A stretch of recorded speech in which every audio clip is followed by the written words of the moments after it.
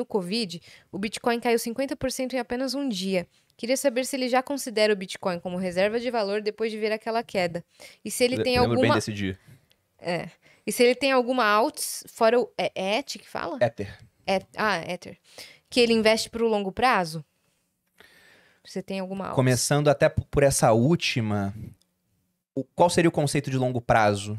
né? Se eu for pensar em longo prazo como mais de cinco anos, eu só confio no Bitcoin e no Ether. Uhum. Nenhuma outra eu confio para mais de cinco anos como um bom investimento.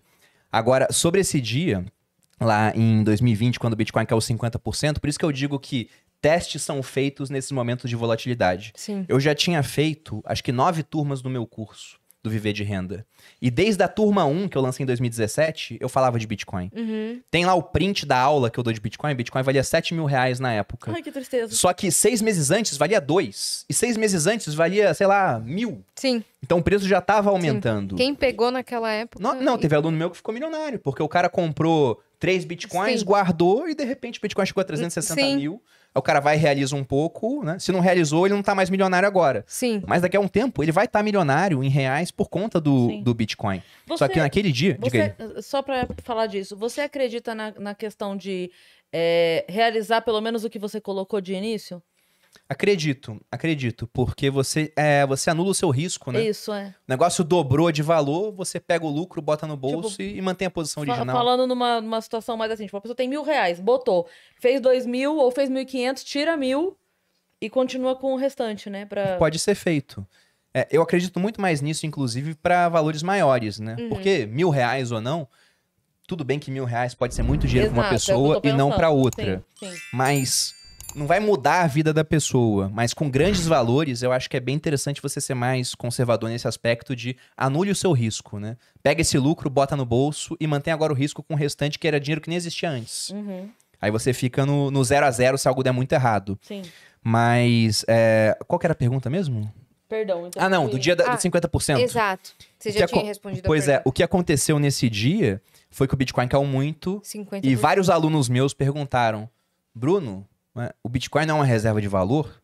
Né? Eu falei, eu sempre falei, eu vejo como uma possível reserva de valor, falta o teste do tempo. Uhum. Mas eu tava comprando nesse dia.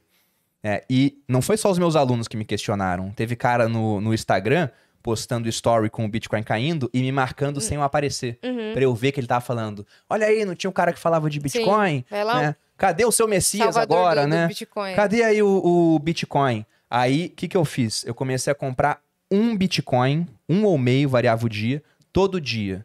Eu fiz isso durante quase 30 dias seguidos, nesse período. E mostrando que eu tava comprando. Aí depois o Bitcoin subiu pra caramba, Uhum. né? Então... E esses caras que falavam mal, vários mudaram de ideia. Sim, O que eu considero inteligente. Sim. Pessoas inteligentes mudam de ideia. O burro que fica pegado a um raciocínio que ele viu que é falho sim. por vergonha de mudar de ideia. Por orgulho. Só que o ponto é que se todo mundo vai comprar Bitcoin um dia, é melhor comprar antes. E é que é eu comprei do- bastante Se naquela época. for, se for é, falar mal do Bitcoin, não fale, escreva, mas escreva na Exatamente. areia, bem perto, Bem do- perto das ondas. Da, da, da água. exatamente. Pois é, porque eu acho que a pior coisa que uma pessoa pode fazer hoje em dia, ao falar de um ativo financeiro que ela não entende, é falar de uma maneira que fica marcado pra sempre, né? Sim. O cara posta no Twitter, Uhum. por mais que ele apague o tweet, vários apagaram, o print tá lá, pô. É. O Não vai é sumir mais. E aí você vê doutores em economia que falaram umas coisas que você olha hoje e vendo o resultado histórico e fala, olha a besteira que o cara falou. É. Simplesmente porque ele não entendia o ativo, foi lá e fez uma crítica totalmente infundada, muitas vezes. Né? Sim. Ele pode ter mudado de ideia também. Ó, Espero que sim, vários vão mudar de ideia. a gente tem uma propaganda